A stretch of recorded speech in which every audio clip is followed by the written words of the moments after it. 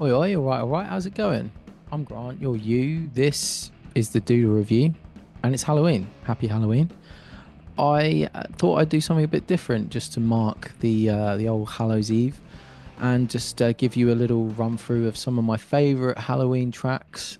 This is going to be completely off the cuff. Most of my videos are written out because I enjoy writing, but um, yeah, I just thought I would uh, give you some some thoughts on some favourite Halloween tracks. Um, I this was all driven by the fact that I came across a playlist recently that I'd put together, what about ten years ago. Um, about ten years ago, I started a new job, and I think because a few people had gotten wind that I was like into music, and they were planning a Halloween party for the staff, they basically asked me to DJ, and I've never DJed before but I was like, yeah, okay, I'm up for it. I'm like, I'm such a tart and such a narcissist. I was like, oh my god, yeah, if I can, you know, all of these new people at this new job, I can really impress with my wild and eclectic taste in music, and um, I'll make it a really good mix. So, I actually remember downloading like Traktor or whatever it is and trying to um, learn how to mix. I created the playlist first. I actually, I remember not doing too bad on the mix.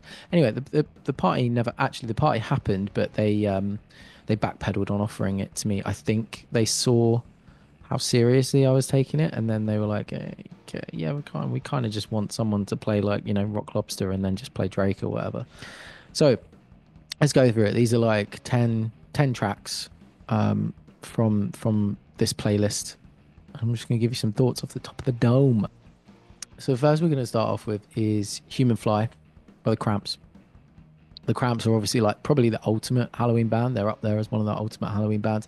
You could pick any number of tracks from them, and it would be great. Um, Teenage Werewolf is a is another great one. So many songs of songs the Lord taught taught us, but Human Fly I think is just ah, it's got that groove, so good. Um, the buzz, buzz, buzz, buzz, buzz, the hook is great. It's quirky. It's weird. Quintessential track, probably the track that I heard that actually first got me into the Cramps. I think the Cramps are a band as well that you're if you don't know them, you go and listen to them, and then you're like, oh, I kind of do know this song or this song or this song. Um, but yeah, when I actually like jumped in, it was off the back of hearing Human Fly. Killer track. You've got to have it on your Halloween playlist. Uh, next up, Burn the Witch, Queens of the Stone Age. Uh, y'all know that I'm a big fan of uh, the Queens. I remember back when I would trawl the message boards that someone the, the, the message boards back then like 2006 7 era was basically just full of people that hated or didn't hate but like you know were butthurt about um the band kind of moving away from the songs for the deaf sound getting rid of nick oliveri all of that stuff. It was all very fresh back then. Um you know now it, the band have been in this formation longer than they were without anyway. But someone made the comment i think when era vulgaris came out that like God, I'm just so sick to death of this band just making like Halloween mood music. And um, I thought that was a really funny description because I don't disagree. I actually happen to like it. But yeah, Halloween mood music, certainly from Lullabies through to Era Vulgaris, you know, definitely. Um, yeah, there's definitely a lot of that. But you've got Lanegan on vocals. You've also got Billy Gibbons of ZZ Top. Um, and if you watch the making of the solo, his solo goes off into this weird like uh, it's because he creates a harmonic with his beard, just like just dragging off of the string while he played it. Up next, just like I had to include Queens, I also had to include some Motorhead. Motorhead. Now I chose Overkill. I can't remember why I chose Overkill because there's obviously, I don't know, one another one that immediately springs to mind is Killed by Death, um, which you could argue might have a bit more of a, a Halloween vibe. You could also say um, Orgasmatron, not because it's Orgasmatron, but doesn't that have like a kind of weird um, vocal manipulation? Anyway, you got to have some Motorhead if you're doing a Halloween playlist, not because they're a particularly Halloween band, but because any playlist where you're going slightly into rock, you got to fucking pay tribute, man. Pay tribute to one of the best that ever did it. Overkill, legendary. Uh, I love the track. I love that the track itself is overkill with like two or three fake out endings and then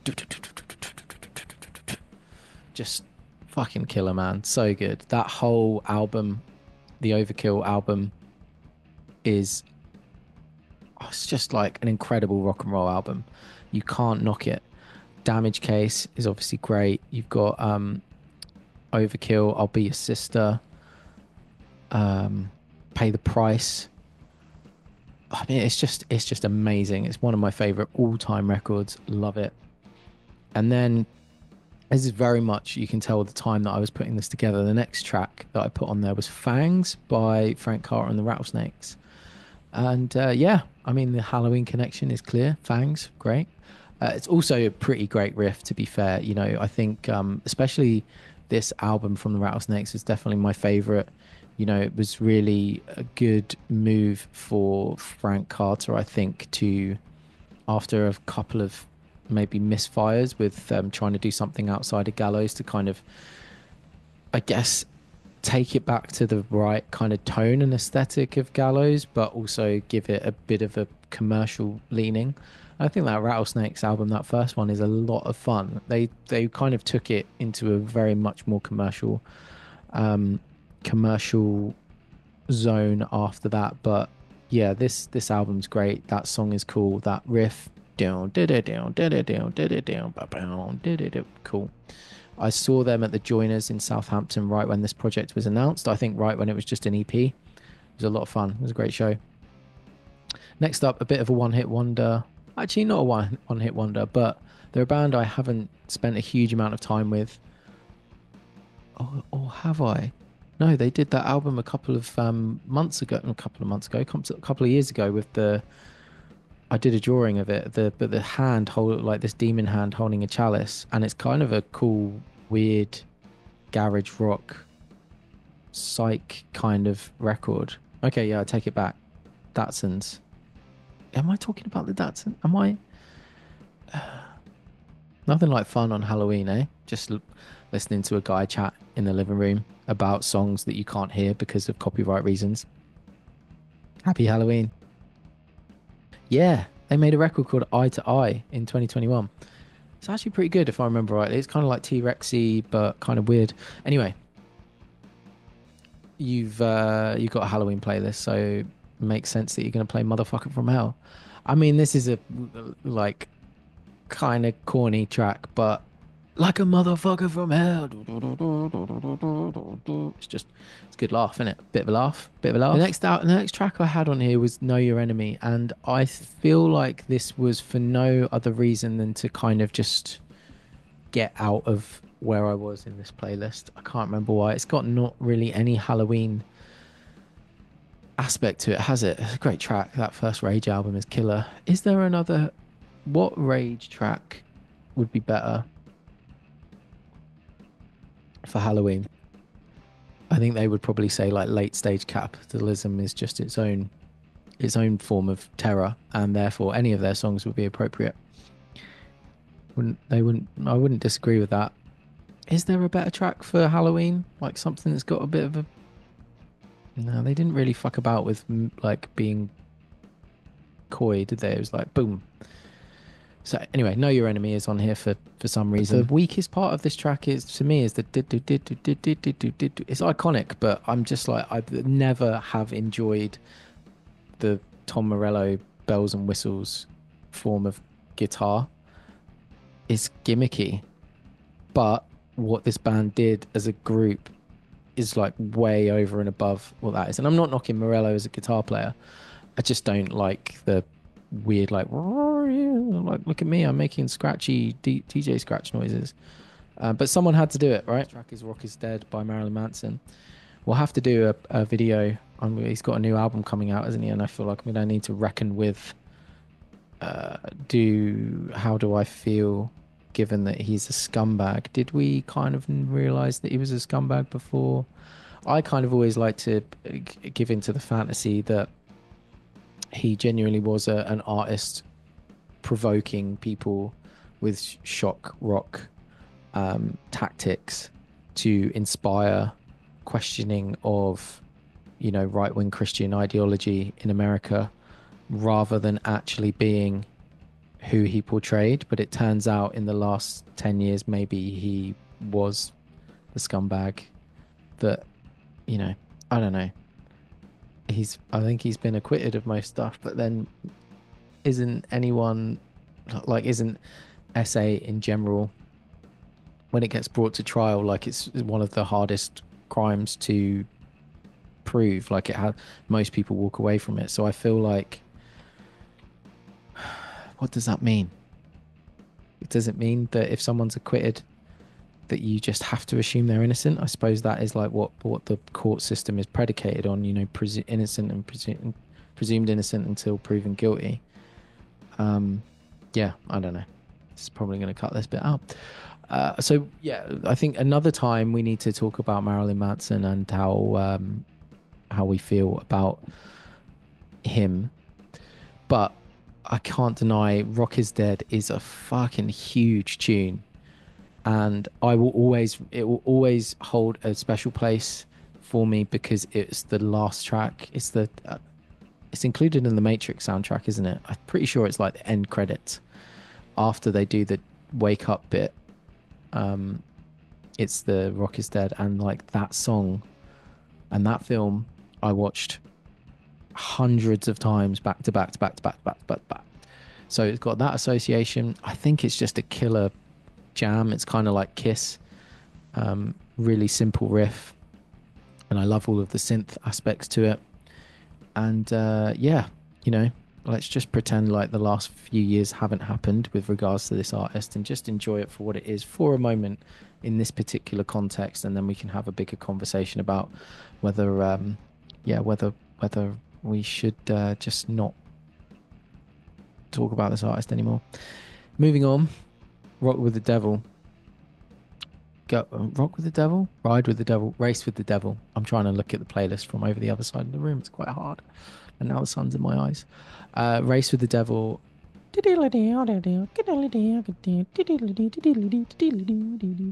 Killer riff. Um, what more can you say? I don't actually know a lot about Girlschool other than their kind of like um, crossover with Motorhead back in the day, and there's the um, tracks that Lemmy features on.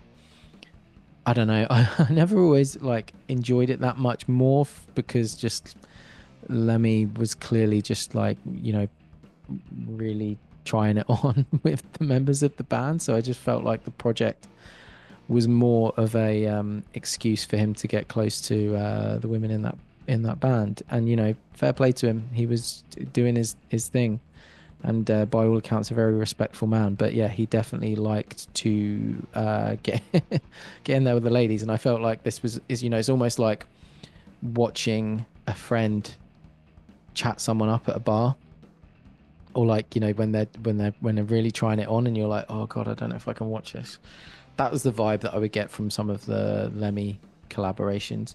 But you can't deny Race with the Devil is banger.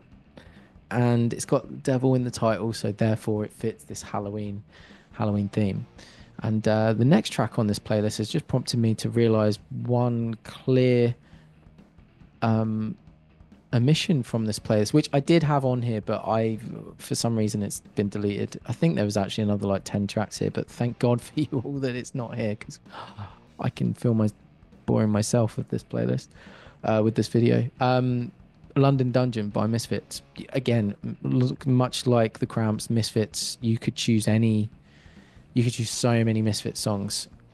The whole, uh, the whole albums, you know, they're they're horrorcore, aren't they? Aren't they? I guess they kind of gave birth to that whole thing. It's their thing. And you could choose so many of them. I would probably say London Dungeon. I really like that riff. Uh, wow. And funny story, I didn't know.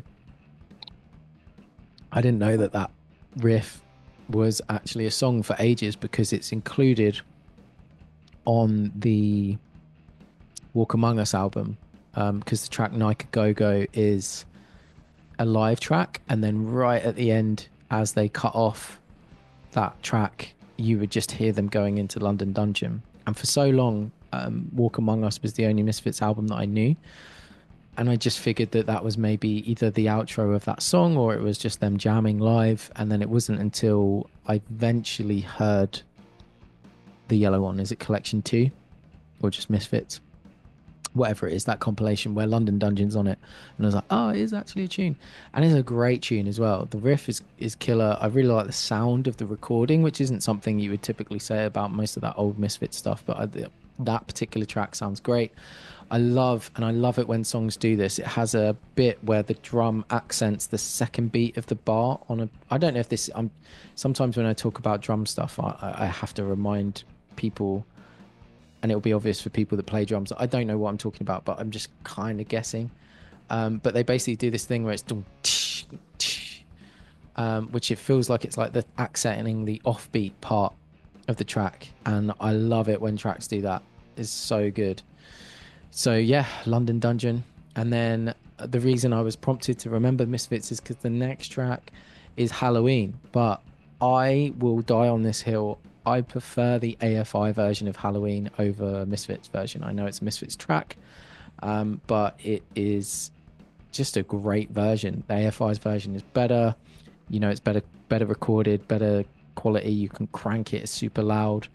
And um, my guy from AFI that I'm completely spacing his fucking name now, the singer, just when he he goes off. I remember Halloween. So good, so good. That is like probably the ultimate Halloween track. And then I ended the um ended the playlist here with Highway to Hell, which you know, ACDC far from my favorite ACDC track. And I wonder if you could use another ACDC song for a Halloween thing. Highway to Hell is like, oh, you, could do Hell's Bells, and maybe Hell's Bells would be the one that I would end it on. Yeah, I'm going to scrap that. Let's say Hell's Bells. Highway to Hell is overdone. It's a bit predictable. Hell's Bells, banger. Anyway, um, if you made it this far, fair play. I um, I, yeah, I I would struggle. I don't know if this is putting anyone in the Halloween spirit, but um, I thought I'd do it. Why not? You know, bit of fun. I'm gonna put this playlist down below. That's not really mixed. Maybe I'll try and mix mix it, get like a better track order. It'll be linked below. So if you need something to listen to for Halloween, give it a give it a fucking go. Uh, other than that, take care, mate. Mind how you go. Cheers, then. Bye.